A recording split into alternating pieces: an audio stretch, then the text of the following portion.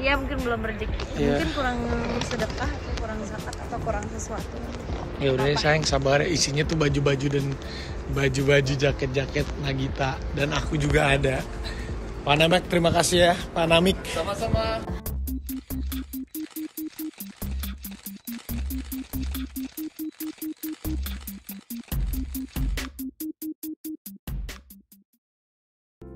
Rapi dan Nagita curhat di sosial medianya karena jadi korban pencurian koper di bandara Turki. Rapi menjelaskan kalau kopernya diambil orang saat dirinya mengurus imigrasi dan belum ada orang yang keluar untuk ambil bagasi.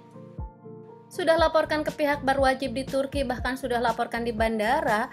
Rapi dan Nagita pun melihat CCTV yang ada di bandara bahwa kopernya diambil orang lain bukan orang Turki tapi pendatang orang yang oknum-oknum Turki di bandara. Berbagi cerita dukanya, Raffi Ahmad dan Nagita memposting kejadian ini di sosial media pribadinya seraya berdoa agar kopernya bisa ditemukan kembali setelah melakukan pelaporan di Turki.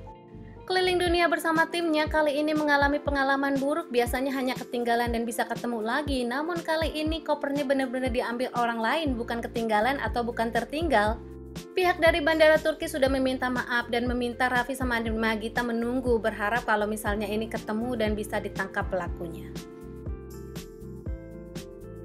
Jadi itu koper belum jadi itu baru nyampe koper langsung diambil sedangkan kita rombongan belum- pesawat belum kita ada, nih belum semua nyampe. semuanya itu kan masih lewat imigrasi dan lain-lain. Gila guys, ya bencana ya.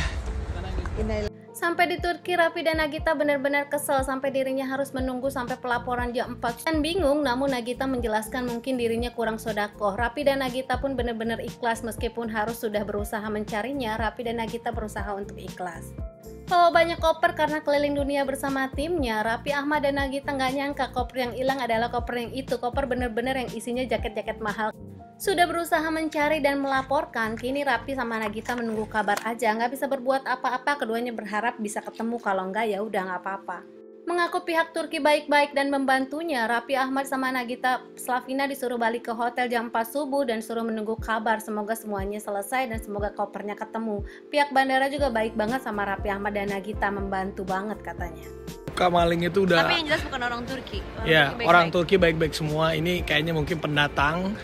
Tadi udah ditolongin sama mereka bener-bener dilihat mereka lagi mau cari click here to subscribe, click here for our most popular video, and click here for something just for you.